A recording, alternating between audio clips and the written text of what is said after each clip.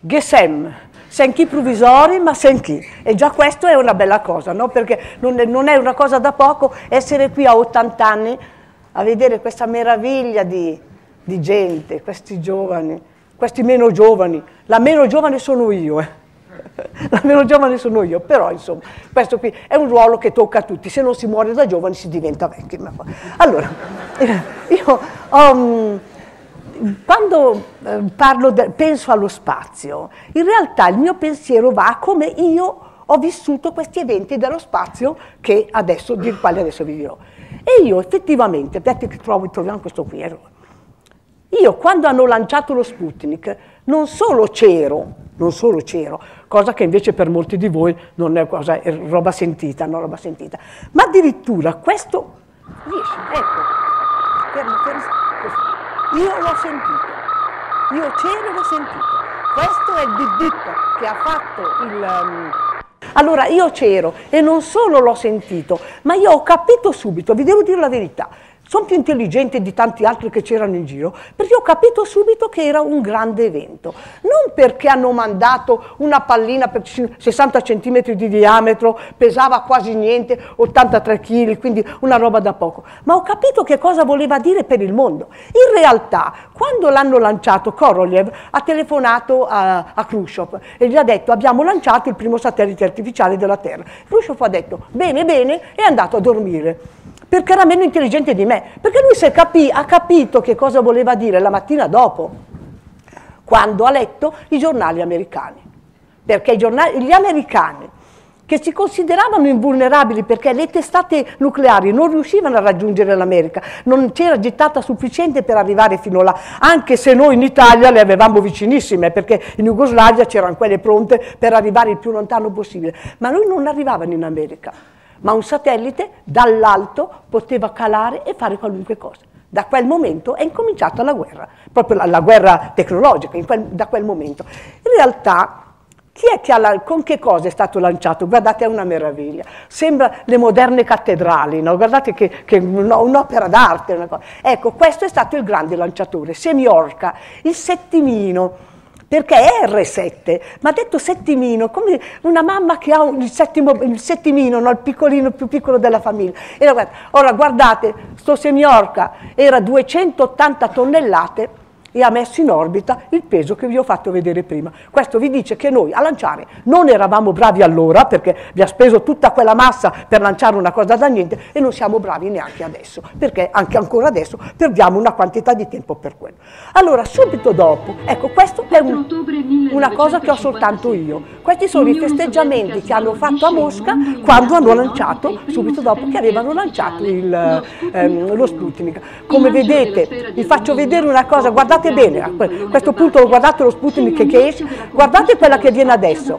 Allora, quattro antenne che restano al di fuori dell'ogiva. Noi eravamo lontani dal momento in cui si potevano fare le antenne telescopiche. Le antenne erano tutte dispiegate e le hanno appoggiate all'esterno, proprio direttamente sul lanciatore. Gli è andata bene perché l'avessimo fatto noi non ci funzionava così. Vabbè. Allora, Khrushchev, che era diventato intelligente nel frattempo, gli ha detto ma se abbiamo fatto tanta bella figura lanciando un, pallon, un palloncino, insomma una baletta come quella lì che abbiamo lanciato, chissà se mandiamo una persona viva, un essere umano, no? E ha detto, mandiamo.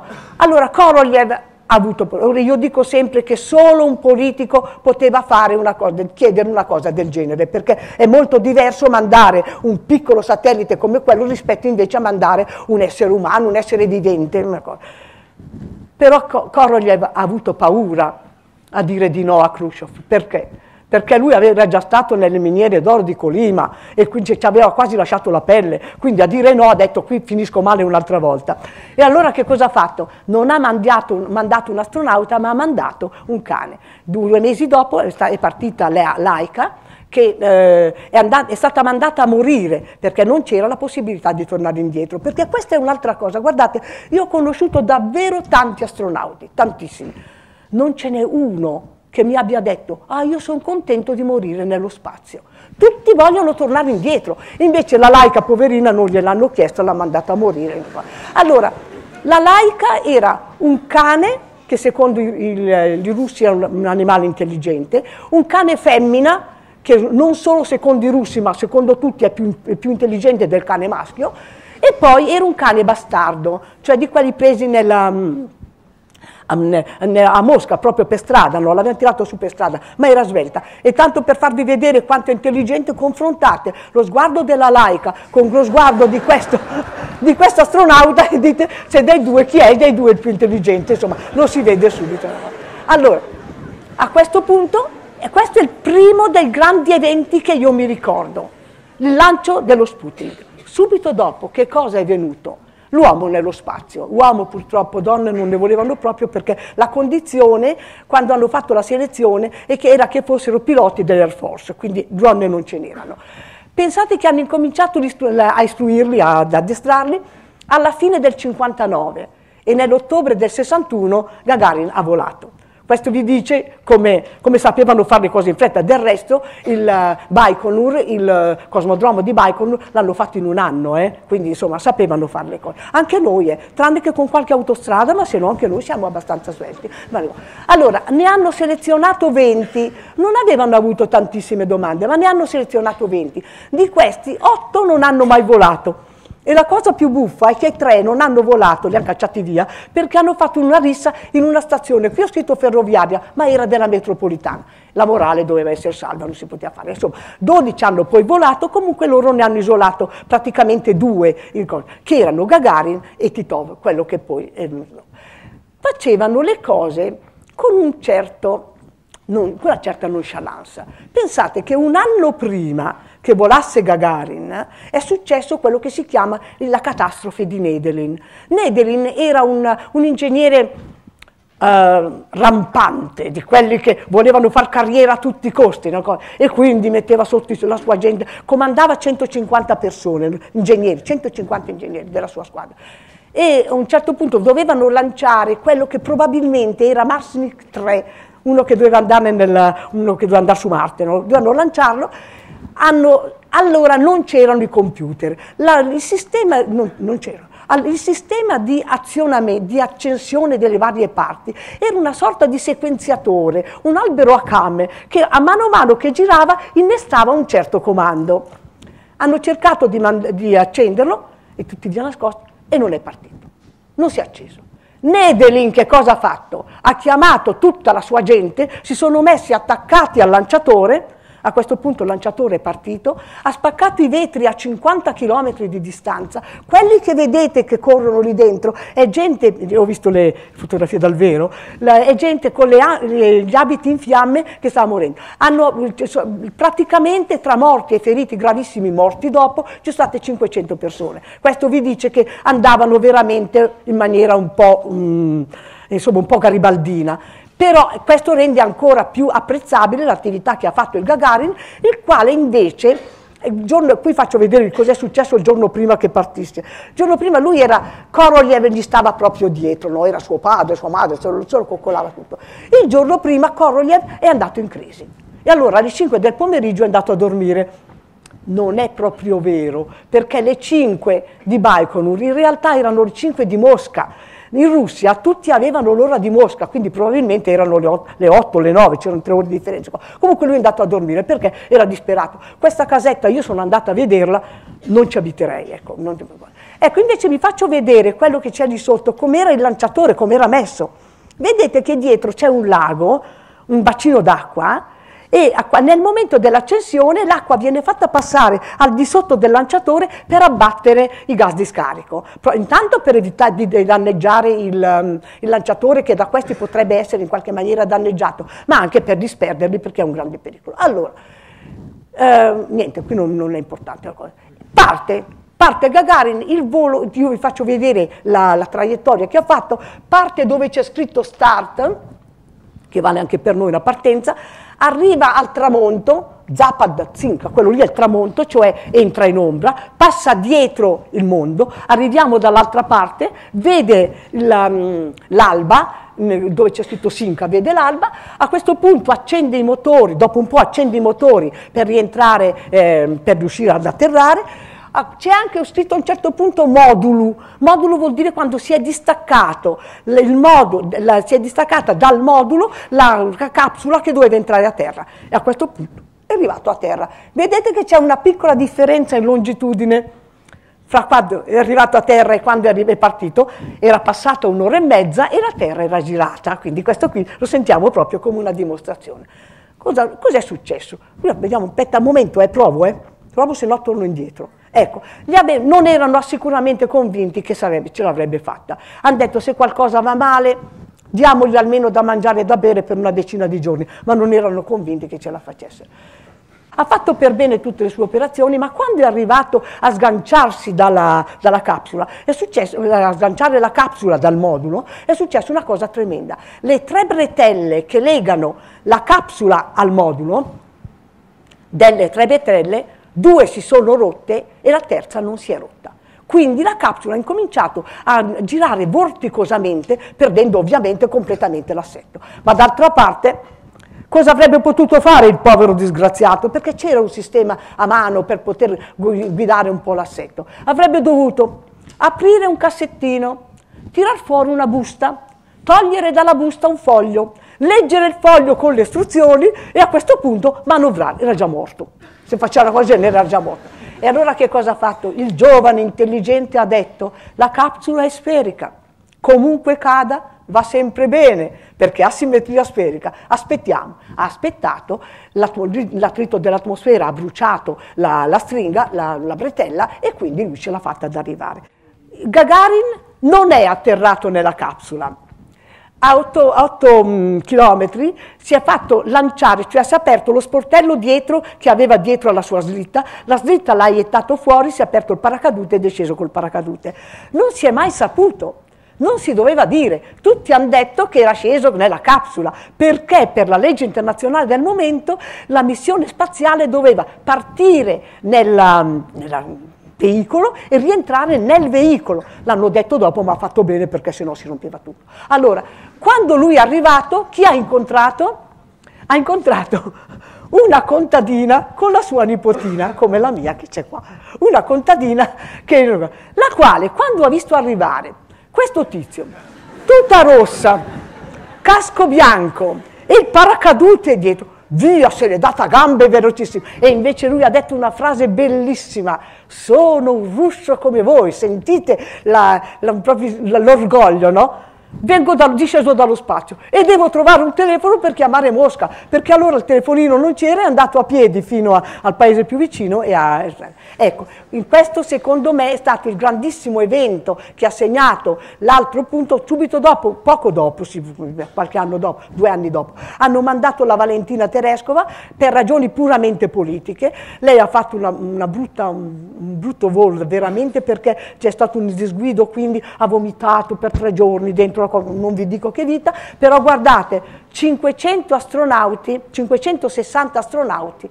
40 di 40 paesi, 50 astronauti. Ecco, io dico 560 dovrebbero essere 280. Ecco, mettiamole no, no, non è vero, siamo, siamo 40, in 50, patente.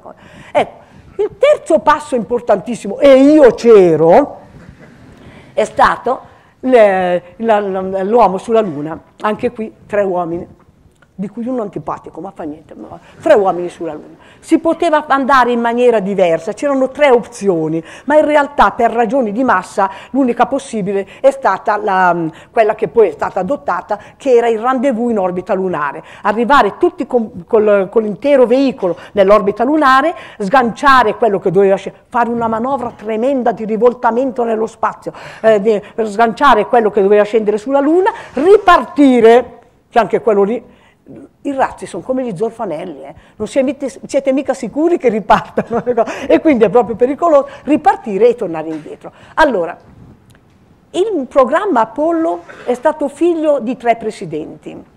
Eisenhower, dopo la guerra, prima che lo cacciassero via, ha raccolto un gruppo di esperti e ha fatto questa domanda. Con le tecnologie che abbiamo, siamo in grado di mandare un equipaggio sulla Luna? La cosa era importante perché fino allora avevamo preso tante di quelle lignate dai russi che se non facevano qualche cosa di buono avrebbero perso completamente la, la stima degli altri. E la risposta è stata sì, è solo una questione di soldi. No.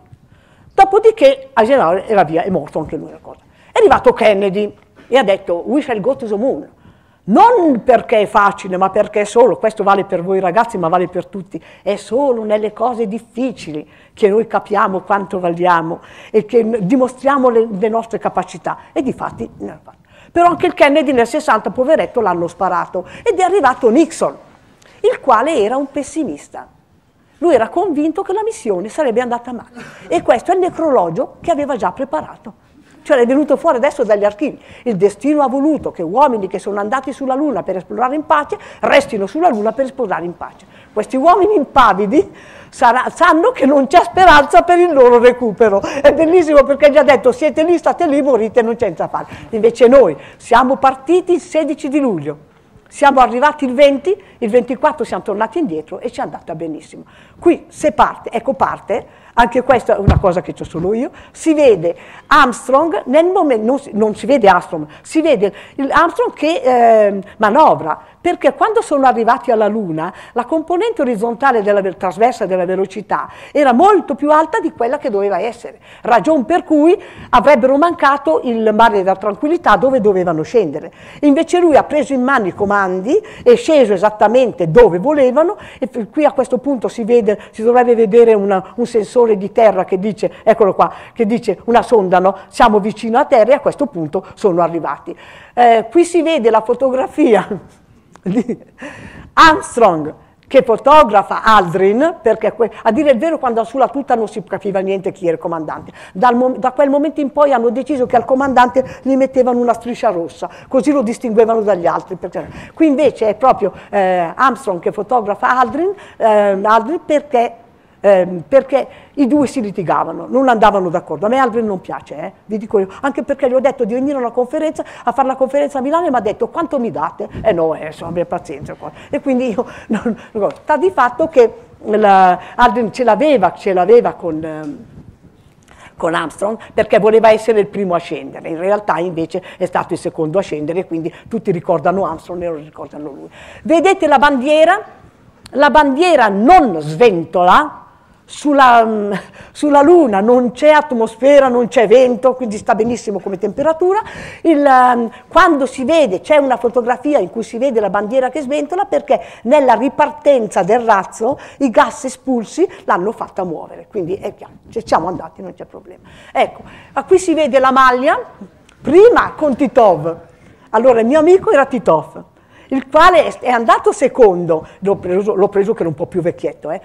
era la, era, è stato secondo astronauta, però lui sosteneva che era stato il primo, perché lui ha fatto 17 orbite e ha sofferto il mal, il mal di spazio. E invece ehm, Gagarin non l'ha neanche fatto in tempo, poi c'era tal paura. Che, non poi invece qui c'è sempre la maglia con la Valentina Tereskova, con cui io sono veramente in buoni rapporti. Guardate quelli dietro come sono lì ammirati del fatto che noi andiamo così d'accordo, ci raccontiamo un po' le nostre cose. E poi qui invece sono io sono io con Charles Duke, il, quello che ha fatto nell'Apollo 16 ha fatto il capitombolo. Cioè lui ha fatto un capitombolo davanti a milioni di persone perché è inciampato e mi raccontava proprio questo, a dire il vero, io quello che apprezzavo molto è anche il fatto che lui era lì con sua moglie, eravamo in estate, era lì con sua moglie ed è uno dei pochissimi che conosco degli americani che non ha divorziato e quindi si vede che aveva una stoffa ben dura. Ecco, Arrivati a questo punto, io avevo messo a punto la mia esperienza, cioè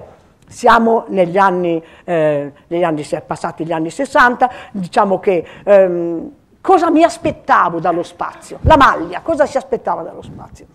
Io mi aspettavo le grandi imprese.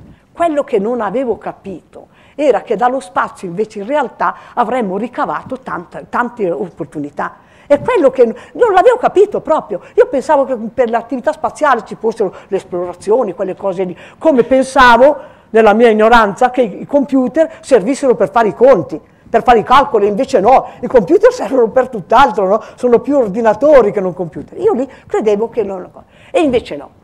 Satelliti, allora, prima di tutto i satelliti scientifici, sono partiti immediatamente. Questa è proprio la mia esperienza perché li ho visti nascere. E poi tutte le altre applicazioni, le telecomunicazioni, i satelliti meteorologici, telerilevamento e la navigazione. Allora, con i satelliti meteorologici non vi dico niente perché noi dipendiamo dagli altri. Noi come Italia non abbiamo, abbiamo partecipato, partecipiamo alle cose, però noi prendiamo le carte che ci danno gli altri, le previsioni spesso sbagliate che ci danno gli altri e quindi di quelle non vi dico niente. Ma dei satelliti scientifici sì, perché satelliti scientifici lavorano, vero?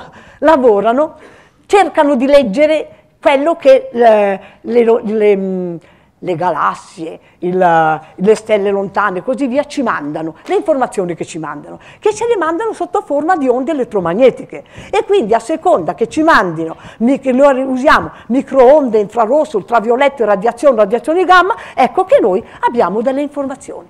Allora lì è partito subito, guardate che l'ho scritto in rosso, 1962.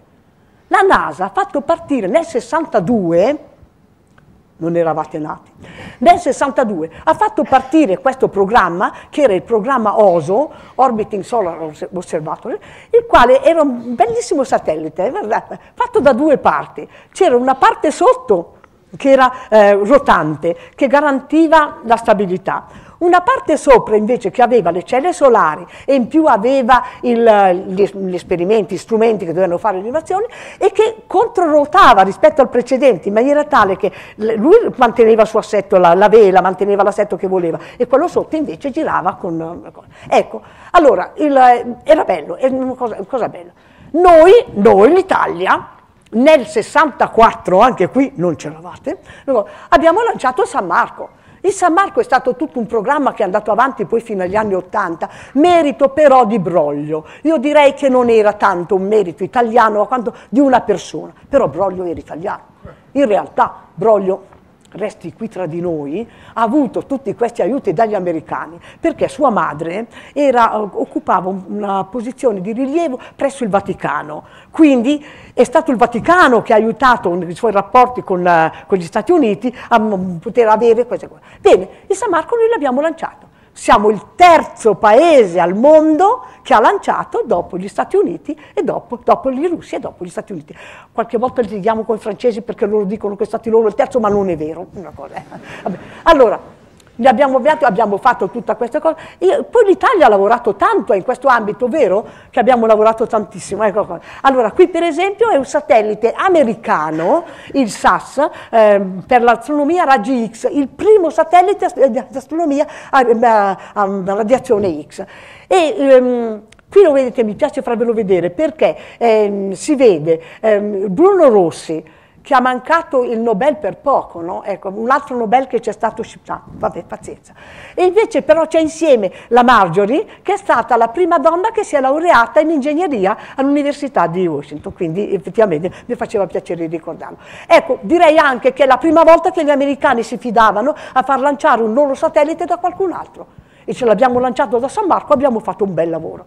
Dopodiché, a bellissimo nostro Beppo Saxa, che in realtà è un satellite cosparso di sangue, perché non avete idea quante teste sono cadute dal, dal punto di vista sia politico che all'interno di quella... Non stava nascendo l'Agenzia Spaziale Italiana, però all'interno di. Quante, perché? Perché i, i, i costi erano lievitati tantissimo e quindi c'era una lite fra i soldi da destinare alla ricerca di base, in Asia, eh, soldi da destinare alla ricerca di base e i soldi da destinare ai satelliti. Eh, Guerriero diceva che questi soldi, gli esperimenti fatti col Sax erano pur sempre scientifici, gli altri dicevano no, toccare, insomma, ci sono litigati. Abbiamo, abbiamo fatto un bel lavoro, l'ultimo che vi faccio vedere è Agile, dove sei?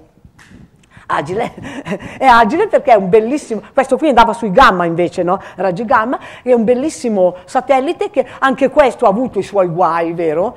I guai, Guardate, i nostri guai in generale sono guai politici. C'è stato un momento, e anche questo qui è esperienza mia, in cui in tre anni abbiamo cambiato quattro governi Tutte le volte che cambiava il governo, cambiavano le persone che si mettevano lì, quindi cambiavano i presidenti, cambiavano le cose. È stato, era un momento di grande confusione, meglio adesso.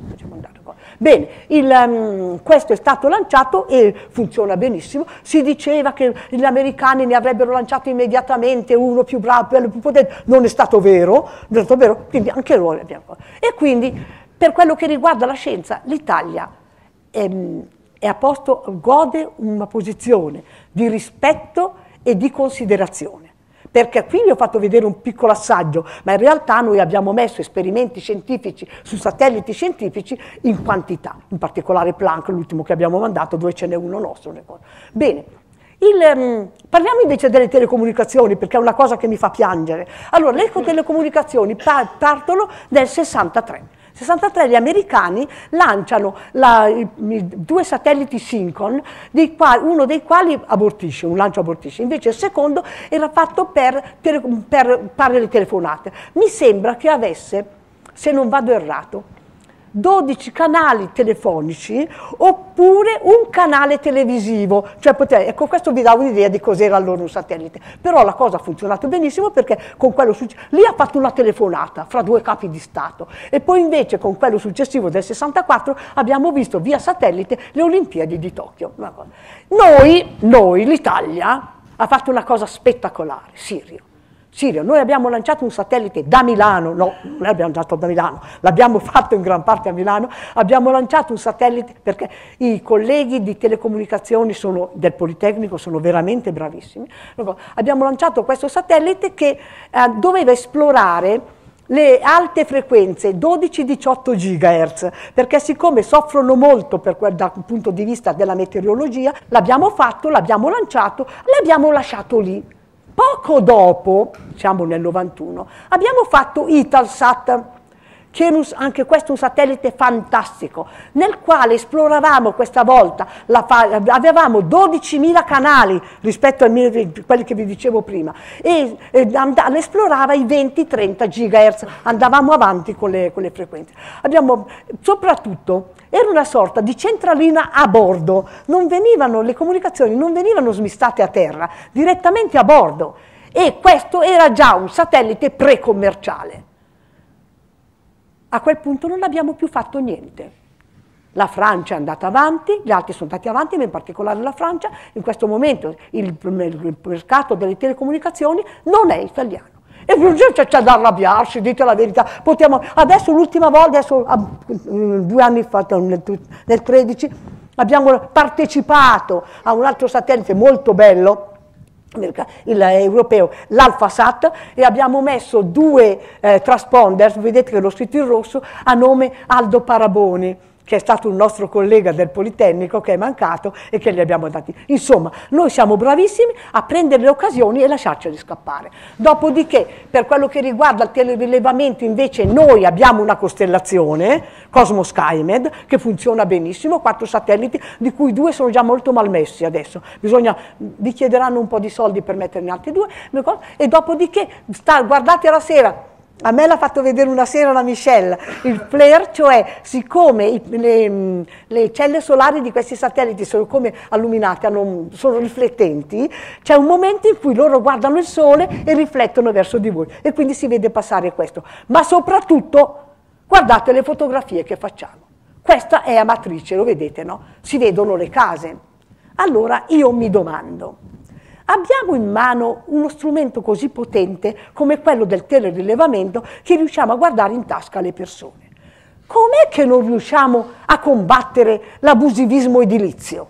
Basterebbe sovrapporre una di queste, di queste immagini no, a quella che è la mappa delle cose e si vede subito che la fa. No signore, non si fa. Questa è volontà, questa è mancanza di volontà di cose. Dopodiché per Galileo noi non facciamo Galileo, ma partecipiamo. Galileo è europeo, partecipiamo, stiamo facendo, in particolare, in particolare noi facciamo, eh, facciamo eh, mettiamo a bordo i, gli orologi, gli orologi atomici. Ne, cioè noi, noi, mettiamo i, i, maser, quelli di um, microonde, no? e invece gli inglesi mettono i, quelli a rubidio.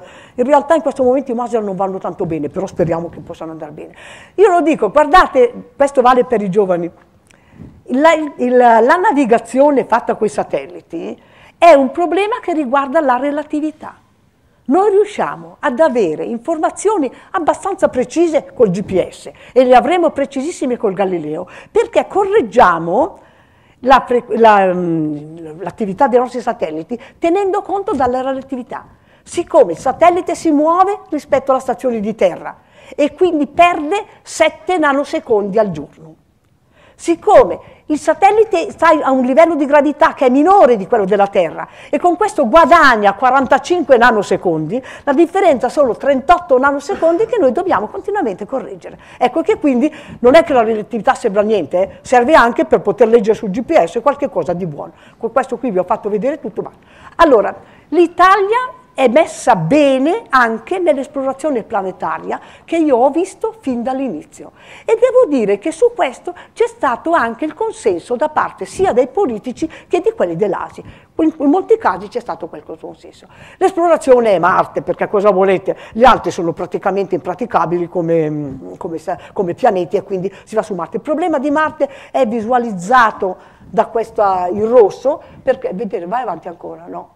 Non di più. Eccolo qua, perché la Terra fa una rivoluzione completa mentre Marte ne fa metà e quindi ci vogliono due anni per riallineare Marte, Terra e Sole e quindi se voi volete tornare a casa dovete aspettare due anni, a poco attorno ai due anni per poterci rientrare. Quindi questo qui è il problema, il viaggio su Marte è lunga. Il, la prima missione in, eh, russa a Marte, Mars A, è del 1960. Ragazzi, erano bravi vi dico erano bravissimi. Allora, quali sono i, i, perché andare su Marte? Perché su Marte c'è l'acqua. Anzi, io dico sempre, guardate, questa è acqua, eh? acqua in un cratere. Io dico sempre, l'acqua c'è, i sali in abbondanza, gli spaghetti li portiamo noi, non c'è nessuna ragione, nessuna ragione per non andare su Marte. Allora, questo sono fotografie queste, eh? Questo è il Mars Reconnaissance Orbiter che ha preso queste, una serie di fotografie. Queste non vi sembrano due fiumi che convergono e che entrano a fare un fiume solo? Cioè nel passato su Marte c'è stato un altro mondo, un altro tipo di vita e certamente Marte. Ma l'altra cosa che ci porta a Marte è questa famosa meteorite che hanno trovato nella quale sembra che si vedano, cioè si vedono, poi dopo dopo sono piccoli piccoli, eh, che si vedono dei fossili che vengono da Marte. Siamo sicuri che la meteorite è marziana, su questo non c'è dubbio, però ecco, quello che colpisce è che noi abbiamo addirittura prove che questi qui erano viventi. Lo vedete questo giallino che c'è in basso? È un'alterazione delle rocce dovute a effetti organici, il che vuol dire che erano il gabinetto, insomma, è come c'è una cosa e l'altra. Però abbiamo visto anche questi. Allora, Marte è un pianeta maledetto 43 missioni, 27 fallimenti. Facciamo quasi 28 per... Allora, ecco, siamo partiti prestissimo, ma io vi voglio parlare del primo atterraggio morbido su Marte russo, fatto con questa bestia qui, il Mars 3, che come vedete sopra in alto portava una, una sfera, una sfera che poi è stata mandata nell'atmosfera di Marte. La, lui è arrivato a Marte, in realtà ha durato 14 secondi, perché ha avuto l'accortezza di arrivare nel pieno di una tempesta di sabbia, quindi a questo punto non è più, non è più riuscito a trasmettermi a fare niente. Ma io vi faccio vedere una cosa che ho soltanto io, questa è una sperimentazione a terra di quella che è la capsula allora guardate come era fatta, una capsula a pe eh, quattro peta petali, si aprono, esce, um, esce vedete un, un, oggetto che serve a misurare le caratteristiche della Terra, ma ci aveva anche attaccata, non questo, quello che vedete dopo, una zampettina, e quindi questa è l'attività che viene a un certo punto mette fuori coraggio, eh. mette fuori un'antenna che è un sensore di, di condizioni meteorologiche, perché su Marte si voleva vedere se c'erano, tira fuori l'altra si apre l'altro petalo, anche qui, questo qui aveva anche un raspettino, una cosa per poter portare via qualche cosa e adesso guardate bene nell'angolo destro. Lo vedete cosa avevano inventato? Un baracchino fatto come i cavalli ad ondolo dei bambini, no? Quelli che vanno in questa maniera, il quale con un filo, guardate, con un filo, un tether di 15 metri avrebbe dovuto andare in giro per Marte. È ingenuo, è ingenuo, però erano bravi, diciamo la verità. Dopo da allora ne abbiamo fatte un po' di tutti i colori, queste qui americane, e questo sempre fotografie, eh? non, non c'è trucco, non c'è inganno. Ecco, qui si vede ehm, Sejourner, quello del Mars Pathfinder, che eh, si muove, siamo su Marte, si sta muovendo, è fotografato dal veicolo che scende su Marte, e questa è una panoramica presa dal veicolo che è atterrato e che vede in un angolo, dovrebbe esserci un cerchietto rosso, vede in un angolo, c'è, c'è ha inventato le panoramiche, eccolo lì, eccolo Vedete, lì si vede Sejourner che sta lavorando, quindi erano diventati anche molto bravi nel fare le cose. Ecco, la cosa bella che hanno fatto, il miracolo che hanno fatto gli americani è Curiosity. Curiosity è una cosa spettacolare perché è quasi una tonnellata, eh, sono 900 kg di, di, veicolo che è sceso, ma non è solo quello, del fatto, vedete come era sistemato? In questo veicolo che scende, a parte le coperture superiori, eh, superiore e inferiore, c'è dentro quello che è sotto, quello che è schiacciato sotto, eccolo lì, si vede, il 4, ecco, che è il veicolo che poi scenderà, si chiama Curiosity, proprio il veicolo che scenderà il lander. Ma sopra c'è un sistema, una culla, con delle, eh, anche qui, con delle bretelle, che se lo porta in giro perché gli americani hanno fatto, questo ve lo devo commentare, hanno fatto una cosa, facciamolo vedere e poi torniamo in, hanno fatto una cosa spettacolare, hanno fatto volare questo oggetto nell'atmosfera marziana, utilizzando i criteri dell'aeronautica, cioè il trimmaggio, hanno usato quelli e per, così facendo l'hanno governato fino a quando l'hanno fatto scendere dove volevano loro. Torno indietro un attimo, un attimo, per farvi vedere la complessità di questo veicolo, che come vedete è complessissimo, ma guardate per piacere bene, quello che ho scritto Must Cam, che è là a sinistra, la telecamera che è montata sul braccio di sinistra. E poi invece qui in basso che c'è uno strumento che si chiama Mali, che è una serie di lenti che hanno messe su un braccio che possono andare in giro e vedere da vicino gli oggetti che si vogliono vedere con molta precisione. Quello che vi faccio vedere adesso è proprio l'alieno, cioè questo è l'autoritratto. Curiosity si è fotografato utilizzando Mastcam e utilizzando quel Mali che dicevo prima, ha fatto tutta una serie di fotografie e noi, e con queste siamo, io sono convinta che se c'erano gli alieni su Marte prendevano questo per un marziano, però in realtà, in realtà è una cosa bellissima. Noi abbiamo fatto Mars Express, quando dico noi dico l'Europa, Mars Express che, eh, che dal punto di vista degli italiani è stato un grande successo. Noi avevamo messo una, una come si dice, vabbè, un radar che era Marsis e la, non ce lo lasciavano di spiegare perché dicevano che era pericoloso, poteva creare dei problemi agli esperimenti che c'erano su, in realtà l'abbiamo dispiegato, siamo andati a vedere, noi siamo in grado di leggere l'acqua, la presenza dell'acqua. Però c'era anche un qualche altra cosa che doveva scendere su Marte, che però sentite, allora, il lanciatore che ha mandato questo oggetto su Marte si chiamava Fregat non è, non è convincente. L'oggetto che è sceso si chiama Beagle, che insomma anche qui abbiate pazienza, cioè le premesse non erano proprio il massimo, sta di fatto che questo l'hanno lasciato andare, è tutto degli inglesi, è fatto tutto dagli inglesi, l'abbiamo lasciato andare e a questo punto non abbiamo più saputo niente. Adesso dicono che hanno visto da qualche parte il, il paracadute, insomma era meglio se era lui che si rispondeva, eccetera. Dopodiché, poco dopo, cioè qualche mese fa, abbiamo lanciato ExoMars.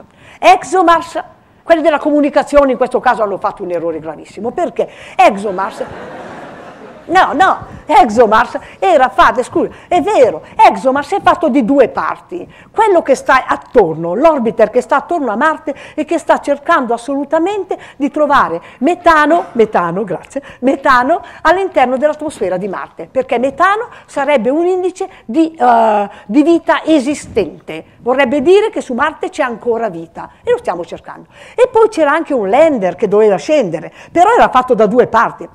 I comunicatori hanno detto l'importante è l'ender, l'importante è l'ender, il lender è andato perché l'abbiamo fatto, gli abbiamo dato anche un bel nome, poverino, di una gloria per Milano e per Torino, no signore, alla fine è arrivato. Doveva fare tutta questa discesa e doveva a un chilometro e uno, no? spegnere a un chilometro, spegnere i, i razzi e adagiarsi gentilmente su per terra. In realtà l'ha fatto molto prima, a 40 km, è arrivato giù, si è rotto tutto, ecco. e quindi anche questo non l'abbiamo fatto. Vabbè, pazienza, vedremo la prossima volta di farlo meglio. Adesso vado via velocissima per dirvi qualcosa sulla mia cometa, perché se è vero che l'Italia è stata brava a fare tante cose, io vi ho fatto vedere nella mia esperienza quelle che ho proprio visto fare, noi con la cometa abbiamo avuto proprio un successo. Noi proprio come Italia.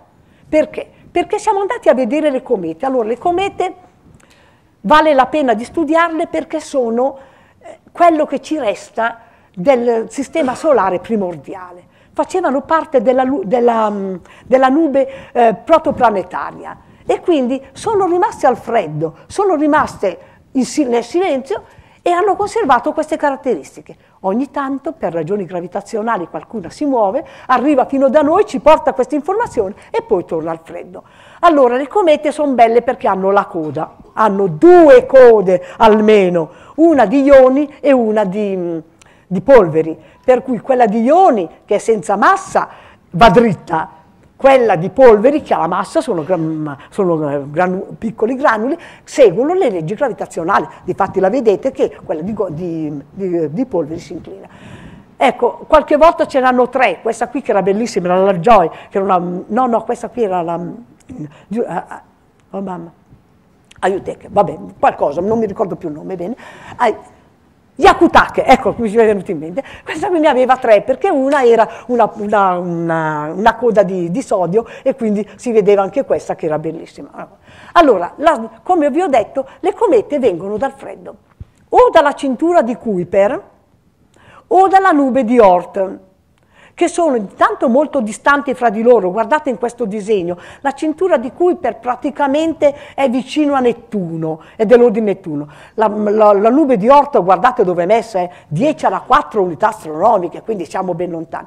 Ma io ho voluto scriverlo perché sia il signor Kuiper che il signor Hort, olandesi tutte e due, hanno, scritto, hanno trovato queste informazioni, hanno realizzato questa teoria attorno al 1950. Quindi delle comete non si sapeva niente. Quello che abbiamo fatto l'abbiamo detto praticamente da pochissimo tempo. Ecco, allora, gli americani avevano fatto bella, un, un, bel um, satellite che si chiamava ISEE, International Sun Earth Explorer, che doveva guardare la zona compresa fra la Terra e il Sole, cosa che per noi è importantissima perché regola il, la nostra meteorologia, la nostra, il nostro tempo, il caldo, il freddo, insomma la nostra salute dipende da questa zona.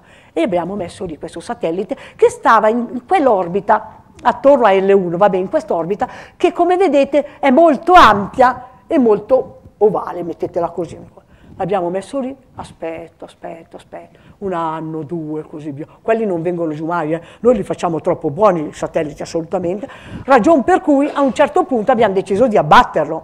Ma Belbruno, che era interessato alle, alle, orbite, ha detto perché non adoperiamo queste ultime eh, poco di combustibile che abbiamo per fargli fare un'altra orbita. Abbiamo acceso il, il, i motori, guardate che orbita gli abbiamo fatto fare. Siamo partiti dall'orbita rotonda che c'è lì, no? attorno a L1 o quello vale, e poi abbiamo fatto tutte queste orbite. E quindi l'abbiamo fatto rivivere. Il fatto è che in questo passaggio siamo passati attraverso la coda della Giacobini Zinner e quindi eh, per la prima volta abbiamo intercettato la coda di una cometa. Poi l'Europa, che quando fa le cose le fa bene, eh, devo dirlo, guarda, è proprio così, ha deciso di andare a vedere, sì lo so, ho quasi finito, ha deciso di andare a vedere la cometa di Halley, cometa che prende il nome da Halley non perché lui l'abbia scoperta, lui non l'ha scoperta, la deve aver visto da bambino, ma, noi, ma, perché avendo studiato bene la teoria della gravitazione sapeva che doveva ritornare. E lui ha detto, tornerà nel 1758 e lui era già morto dal 1742. Allora signori, fare una previsione che si avvererà quando siete già morti non è difficile, no? Perché casomai, casomai sbagliato, non vi dico. Però la previsione c'era. È arrivato il 58, febbraio, marzo, giugno, novembre, della cometa neanche l'ombra. La notte di Natale del 1758 un astronomo dilettante ha visto la cometa e quindi Halley ha avuto ragione. E l'abbiamo chiamata la cometa di Halley, della quale abbiamo fatto la fotografia del nucleo, che è questo, come vedete, ma non è questo, eh, questo qui è una finta. La cosa da notare è che noi l'abbiamo intercettata, siamo passati vicino alla cometa a 245.000 km all'ora, quindi abbiamo fatto proprio zam, no? come se un treno veloce che passa. Il nucleo della cometa è questo, nero, freddo, un diamante nero che si muove nello spazio fino ad arrivare vicino al Sole che ne illumina la coda. Vabbè. Allora, a questo punto l'Europa, oh, gli americani sono andati avanti, hanno fatto anche danni, eh, non, non c'è problema, ma a questo punto i, i, russi no, non avevano interesse per le comete, no, non gli piacevano. Allora, gli americani, gli, gli europei hanno deciso, l'Europa, ha deciso di fare la missione Rosetta. Cos'è che contraddistingue la missione Rosetta dalle altre che sono state fatte? Vi ho detto prima i 245.000 km all'ora, noi si voleva non intercettare la cometa in questo modo, ma arrivare alla cometa con la sua stessa velocità, che è una cosa complicatissima per fare la quale, ah ecco vabbè qui non si vede, per fare la quale abbiamo dovuto fare questo viaggio di eh, quasi 11 anni per poter fare in modo che arrivando alla cometa avesse esattamente la stessa velocità. Stato un viaggio complicatissimo, ma soprattutto, e qui ringrazio quelli che hanno fatto le celle solari, abbiamo fatto questi pannelli solari, le ali, noi abbiamo dato le ali, 64 metri quadri. Questo è il doppio di questa sala, no, secondo me? 64 metri quadri di, di celle solari. Due, e le vedete qui quando si montano? Guardate le gambe di questi ometti che stanno sotto e vi rendete conto di quanto è alto il pannello. Quindi è veramente una meraviglia. Una Abbiamo fatto un capolavoro perché si voleva alimentarla con la luce del sole, non si voleva eh, adoperare gli RTG come invece fanno sia gli americani che i russi, tutti quelli che... E abbiamo fatto fare sto giro, è partita dalla Terra, abbiamo fatto un primo flyby della Terra, un flyby di Marte bellissimo, anche perché l'abbiamo fatto in eclisse. Era il momento in cui i nostri pannelli solari non erano assolati, perché il sole era da un'altra parte. Allora uno dice come facciamo? Non possiamo neanche trasmettere le fotografie. Abbiamo preso uno strumento che c'era, in parte americano, che c'era sulla gli abbiamo adoperato le batterie e abbiamo fatto le fotografie con le batterie del, del Vabbè, guardatele qua, ci siamo fatti anche un selfie. Allora, qui si vede il, la, il pannello solare no, sopra e sotto vedete Marte che abbiamo sfiorato a 250 km. E siamo arrivati vicino alla cometa, dopo aver fatto anche due anni e passa di ibernazione. E guardate, se non ci fossimo eh, svegliati dall'ibernazione, la missione era abortita. È stato quello il punto più drammatico no, della, della cosa. La cometa si chiama Churyumov-Gerasimenko allora, scoperta dalla Gerasimenko, che, che, è questa signora che io ho conosciuto simpaticissima, un po' grassa, ma veramente simpaticissima, vero, veramente simpatica. E lei credeva di aver, scoperto, di aver trovato una cometa che stavano cercando, che era la Comassola. Ma poi è arrivato Klim, ho conosciuto anche lui, alto così, ho conosciuto anche lui, e la, il quale ha fatto i conti per bene e ha detto non è la coma sola, è una, la cometa nuova e l'abbiamo chiamata Ciudimo Miracimenco. E noi ci aspettavamo di trovare una cosa come questa, la famosa palla di neve sporca, una specie di fagiolo. Invece guardate cosa abbiamo trovato. Era brutta come il peccato mortale. Ma guarda, più, più la guardavamo, più si andava vicino e più ci sembrava brutta. Guardate le spaccature in mezzo e per di più ruota su se stessa fa due rotazioni al giorno, praticamente una ogni 12 ore. E io dico sempre che ci manca la corda e poi è una scamorza. altro che paperella, non una scamorza. E noi abbiamo mandato, fatto scendere sulla cometa una, un eh, file, del quale io avevo la responsabilità delle celle solari, ecco, ma io avevo anche la responsabilità di questo strumento che è stato costruito insieme a, eh, io avevo responsabilità, l'ho costruito Selex, che è al Politecnico di Milano, che è costituito da un trapano, noi abbiamo trapanato tanto, un, in fondo al trapano esce una, un tubicino che è quello che raccoglie il campione, il trapano ritorna nella sua posizione, depone il campione in uno di questi 26 eh, fornetti quali poi dopo la, mm, nei quali viene scaldato opportunamente. Eh, ed è arrivato, che il mio trapano è arrivato sulla cometa. E ci siamo distaccati. C'è stato un momento in cui ci siamo distaccati dal, dal veicolo madre, padre, quel che volete. Guardate, quella che io ho scritto è una cosa da sottolineare. In questa vecchia, perché eravamo all'inizio della, della missione, l'oggetto che scende si chiama Roland, poi invece noi l'abbiamo chiamato File, che vorrebbe dire Rosetta Lender. Ma siccome Roland è il francese di Orlando e Orlando le aveva prese come un materasso, allora noi abbiamo detto per non saper né leggere né scrivere cambiamo il nome, cambiamogli il nome e l'abbiamo chiamato File e noi siamo scesi in questo posto segnato con la crocetta, con la crocetta bianca che era il famoso site G. Vabbè, dovevamo scendere Scelto così fatto perché ci si arrivava in sette ore di discesa e soprattutto aveva il sole a 56 gradi, che culminava a 56 gradi, quindi era alto, le celle solari potevano lavorare bene. Ecco, queste sono fotografie. Guardate, vedete il pannello solare che sta in alto? Sopra c'è il pannello solare. Questa è la fotografia che l'Ender ha fatto quando si è distaccato dal, dal, dall'orbiter. Cioè questa è la dimostrazione che si era distaccato. Non guardate in mezzo che è un riflesso del sole. Si era distaccato. Questa invece è la fotografia dell'Ender fatta dall'orbiter e vedete che ha aperto le zampe, che è la nostra preoccupazione perché se non apriva le zampe so, ci sarebbe rotto tutto. Questa è un'altra fotografia e questa, questa non, è, non, non, è, una um, simulazione, questa è una serie di fotografie che fanno vedere l'oggetto mano a mano che sta scendendo che si avvicina a terra. E siamo scesi. Avete sentito? Il contatto. Ora in realtà è un imbroglio, perché non essendoci atmosfera, contatto non si poteva sentire, ma noi abbiamo convertito le vibrazioni in suono e quindi avete sentito l'oggetto che è sceso sulla cometa. Allora, noi dovevamo scendere in quel posto lì così, eh, così indicato e che era rappresentato da questo cerchietto rosso. Questa fotografia è stata fatta 5 minuti prima del, momen del, momento in cui pensavamo che sarebbe disceso. E vedete che all'interno del cerchietto rosso non c'è niente. Non ci siamo ancora. Questa è la fotografia fatta 5 minuti dopo quando pensavamo che eh, fosse disceso. E vedete che all'interno del cerchietto rosso c'è l'ombra del veicolo che è sceso. Questo invece è il punto nominale dove avremmo dovuto scendere, quel punto verde all'interno del cerchietto rosso dovevamo scendere in quel punto verde. Allora eravamo a 500 e passa milioni di chilometri di distanza dal Sole.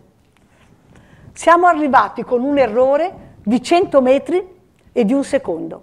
Voglio un applauso. Sì. Siamo in fondo, siamo in fondo, basta, basta. Siamo in fondo.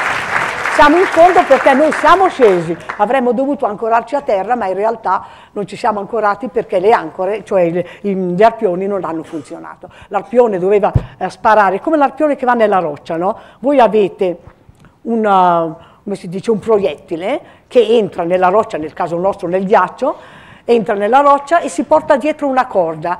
Quando il proiettile si ferma, voi, cercate, voi tirate la corda, le alette che ci sono sul proiettile gli impediscono di venire fuori e quindi avete la corda ancorata e la, dovevamo attaccarla alle, alle zampe non ha funzionato, perché non ha funzionato lo sparo, cioè il, il, um, dice, il combustibile che c'era dentro, non ha funzionato. Io ci tengo a dirlo, questo per, perché si sappia che non era nostro, l'hanno fatto Max Planck Institute, la signora Merkel, questa che è roba sua, quindi l'ha fatto lei. ecco, abbiamo fatto un gran salto e guardate dove siamo andati a finire. Con niente, siamo andati ad Abydos, con niente avremmo potuto andare al di là della cometa e quindi perderla. Per di più la velocità con cui abbiamo rimbalzato era per 4 cm al secondo più bassa della velocità di fuga. Capite? Proprio è stato una, un colpo di fortuna. E lì abbiamo incominciato a lavorare, noi l'abbiamo anche fotografato ma abbiamo preso poco, abbiamo preso soltanto la zampa e fate questa che vedete è il riflesso delle mie, delle mie celle perché non è il sole questo, è il riflesso delle mie celle che sono illuminate dal sole e che battono sulla cosa. L'avevamo perso. Fine era perso, non lo si trovava più. Allora, il 2 settembre del 2016, una mia amica dell'ESOC, che è incaricata di guardare tutti i giorni, incaricata di guardare tutti i giorni le fotografie che l'orbiter prendeva nella speranza di riuscire a vedere eh, file, aveva in mano questo pacco di fotografie, la guardate così rapidamente, poi le ha messe giù e ha detto al suo bambino che stava vedendo i cartoni animati andiamo a letto. E il bambino ha detto no mamma ancora uno, ancora uno, sapete come fanno i bambini, no? Ancora uno, eh, facciamo ancora uno. E lei ha detto va bene, ancora un cartone animato. Ha ripreso in mano le fotografie e guardandola bene ha visto in quell'angolo là in fondo, lo vedete il quadratino rosso? Ha detto ma là c'è qualcosa. E di fatti ingrandito, ecco che cosa ha visto. Ha visto file, l'abbiamo ritrovato. Allora, questa è una zampa, no? La parte che vedete alta bianca è una delle zampe. Poi si vede il corpo di file messo in questa maniera, ma soprattutto si vede quel puntino bianco a sinistra in alto, che è la testa del mio strumento. Era là, l'ho visto materialmente. Ecco. Allora, dopodiché abbiamo deciso di far finire anche l'orbiter, l'abbiamo fatto scendere a mano a mano sulla, sulla cometa, questa è l'ultima fotografia che ha preso a 6 metri di distanza, quindi proprio era attaccato, questo è il segnale che noi avevamo, quello che ci diceva che l'orbiter funzionava, era vivo e a un certo punto l'abbiamo spento e siamo arrivati in fondo. Allora io vi faccio vedere, questo è fatto per i giovani ma anche per i meno giovani. Questa è una piccola parte del gruppo di persone che ha lavorato su file, in mezzo ci siamo la Susan, che ha il, quella irlandese, che ha quel golfettino rosso, e poi accanto ci sono io e siamo le due anziane. Tutti gli altri sono giovani. Ecco, il futuro è vostro. Grazie.